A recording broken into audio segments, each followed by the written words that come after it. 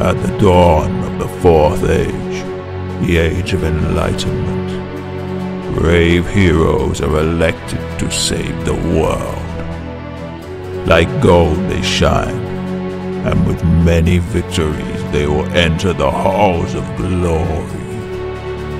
However, there are others who have been chosen by the shadows.